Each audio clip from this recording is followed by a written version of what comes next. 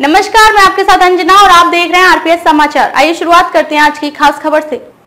नगीना में पड़ा मिला गुलदार के बच्चे का शव आपको बता दें, बड़ी खबर नगीना से आ रही है, जहाँ नगीना रोड एनएच चौहत्तर के पास, गाँव रोशनपुर प्रताप के गंगा नदी के पुल के पास पड़ा मिला गुलदार के बच्चे का शव।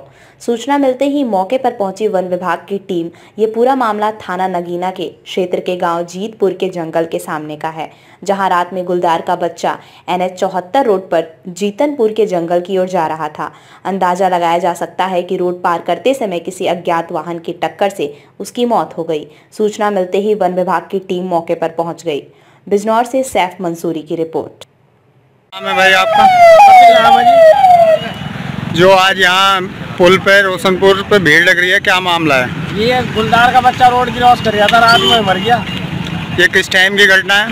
भाई ये तो हमें नहीं पता कि हम तो सुबह ही देखना थी थोड़ी देर हुई। अच्छा लगभग कितना बड़ा है? लगभग होगा चार पाँच महीने का।